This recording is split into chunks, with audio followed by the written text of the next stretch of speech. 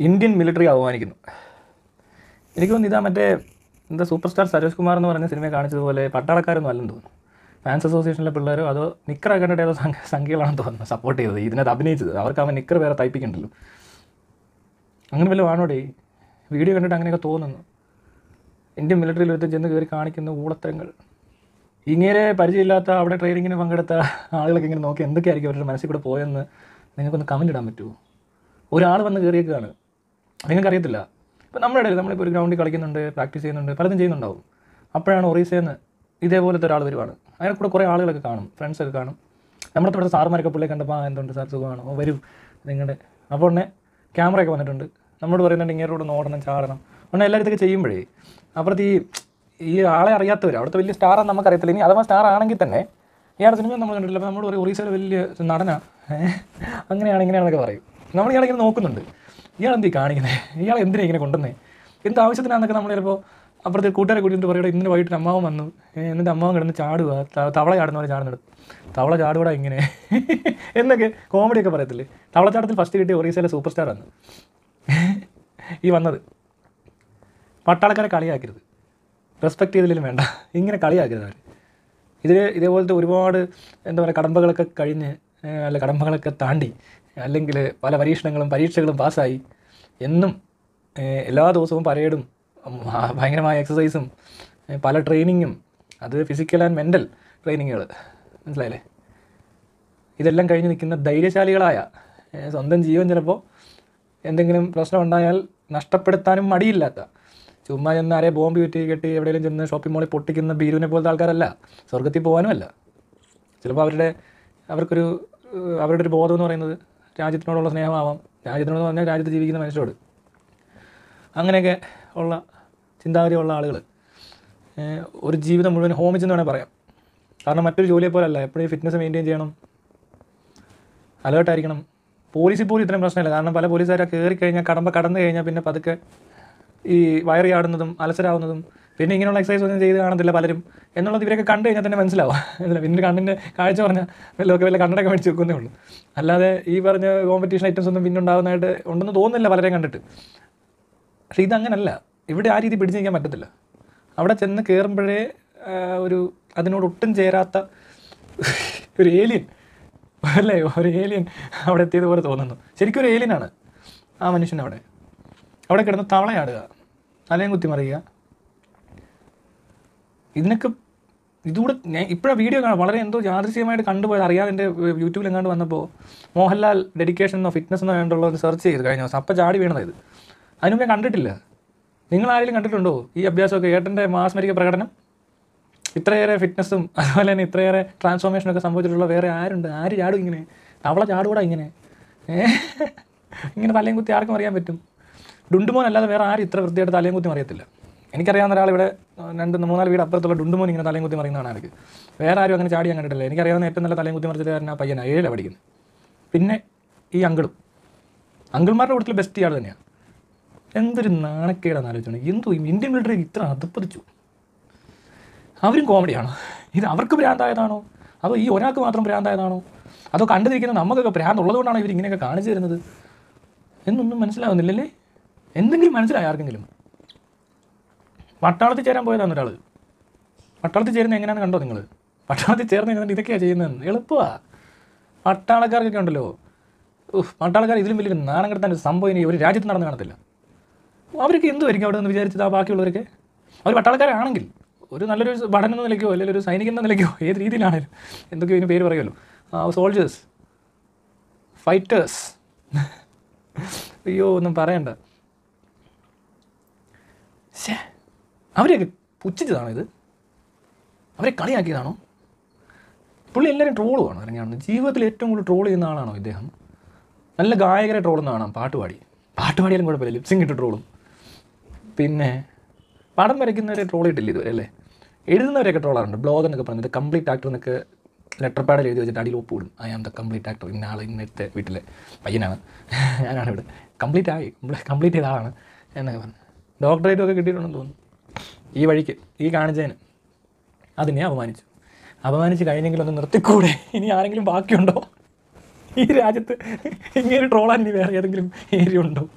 അറിയാൻ മേലാത്തതുകൊണ്ട് ചോദിക്കുക ഒരു സിനിമയിൽ അഭിനയിച്ച് കുറച്ച് കുറേ ഒരു സിനിമാ നടനായി കഴിഞ്ഞ് കുറച്ച് ഫാൻസുമായി സ്വയം super star mega star complete actor എന്നൊക്കെ പറഞ്ഞ് കുറേ എണ്ണം സ്വയം പേരിട്ട് കുറേ അല്പന്മാർ ഇവിടെ ജീവിച്ചിരിപ്പുണ്ട്. ഈ അല്പന്മാരെ താങ്ങാൻ കുറേ ആളുകളുണ്ട്. ഇവിടുത്തെ മിലിറ്ററി അടക്കം ഇത്തിരി പണി കാണിച്ചിട്ടുണ്ട്.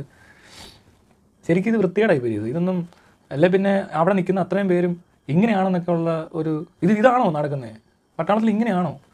നമ്മൾ എങ്ങനെ വിശ്വസിക്കും ഇങ്ങനെയാണോ ഇവരെയൊക്കെ? എനിക്ക് തോന്നുന്നില്ല ഇത് പട്ടാളക്കാരാണ്. എനിക്ക് തോന്നുന്നില്ല. ഇത് വേറെ ഏതോ ഷൂട്ടാണ് എന്തോ ഷൂട്ടിംഗ് അറേഞ്ച് ചെയ്താന്ന് തോന്നുന്നു.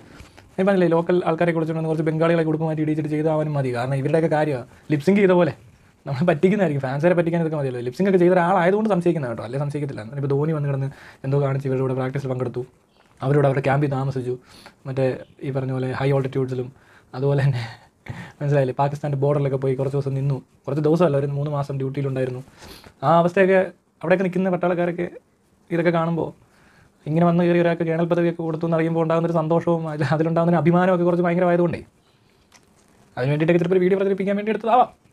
എന്താണെങ്കിലും മിലിറ്ററിയുടെ ഭാഗത്തുനിന്ന് ഇങ്ങനെ ഒരു വീഡിയോ എടുത്ത് പ്രചരിപ്പിക്കുന്നത് കൊണ്ടുള്ള ഗുണം എന്താണെന്ന് എനിക്ക് മനസ്സിലായില്ല.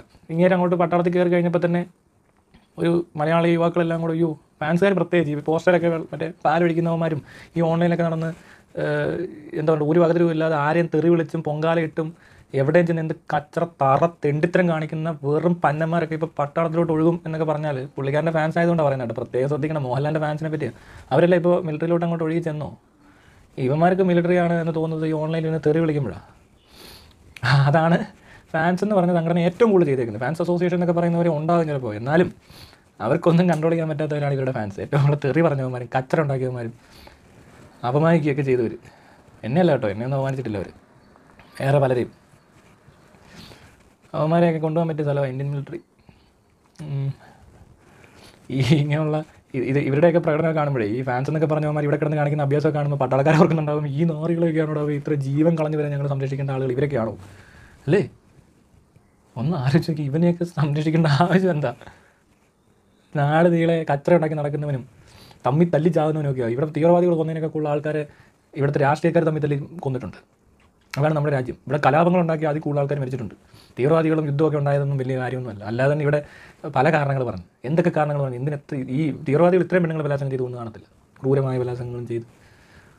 ജാതിയുടെയും മതത്തിന്റെയും രാഷ്ട്രീയത്തിന്റെയൊക്കെ പേരിൽ തമ്മിൽ ചാകുന്ന വെളിവില്ലാത്തവന്മാരാണല്ലോ ഈ രാവും പകലും ഇല്ലാതെ ഉറക്കമുളച്ച് മഞ്ഞും വെയിലും മഴയും അതുകൂടാതെ ഇത്രയും കഠിനമായ പ്രാക്ടീസുകളും മറ്റേ ഇതൊക്കെ ചെയ്തിട്ട് എക്സസൈസും പരേഡും ട്രെയിനിങ് ഒക്കെ കഴിഞ്ഞിട്ടേ സ്വന്തം ജീവൻ ബലിയർപ്പിക്കുക അത് ചിലപ്പോൾ തീട്ടായെ പോലത്തെ തെണ്ടികൾ ചിലപ്പോൾ ഇതൊക്കെ ചുമ്മാ ഇരിക്കുമ്പോൾ കക്കൂസിലൊക്കെ ഇരുന്ന് സല്യൂട്ട് അടിക്കാനൊക്കെ ഇവിടെ ആളുണ്ടാവും.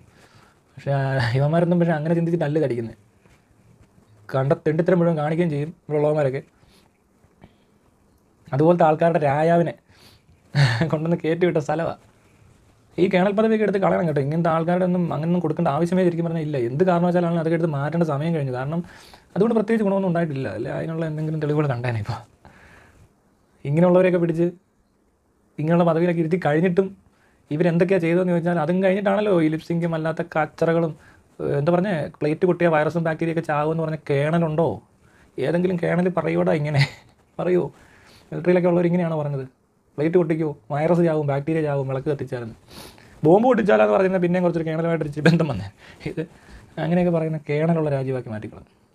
അങ്ങനെയുള്ളൊരു പട്ടാളക്കാരനുള്ളൊരു അല്ലേ എന്തോ ഇത്. ഇവിടുത്തെ പട്ടാളക്കാർക്ക് ഇങ്ങനെയാണോ? ഇവിടുത്തെ കേണൽമാരൊക്കെ ഇങ്ങനെയാണോ? കേണലിനൊക്കെ ഒരു വില ഉണ്ടാകും അതും പോയി. ഒരാൾ വിചാരിച്ചാൽ മതി ഇതൊക്കെ ചെയ്യാൻ. ഒരേ ഒരു രായാവ് എങ്ങനെ ചെന്ന് കയറി ഇതൊക്കെ ചെയ്യാൻ തോന്നുന്നു? എന്തൊരു എന്തോ ഇടപാടാ ഇതൊക്കെ.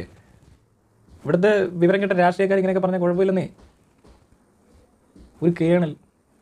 പ്ലേറ്റ് പൊട്ടിക്കോ വിളക്ക് കത്തിച്ചോ ബാക്ടീരിയ വൈറസൊക്കെ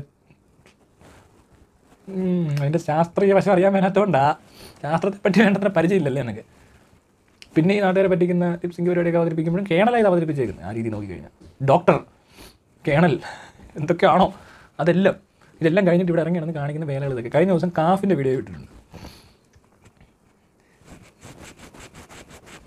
ഇനി കേണൽ ഇങ്ങനെ കളിച്ച് കളിച്ച് ലാസ്റ്റിൽ ഇറക്കി വിടും.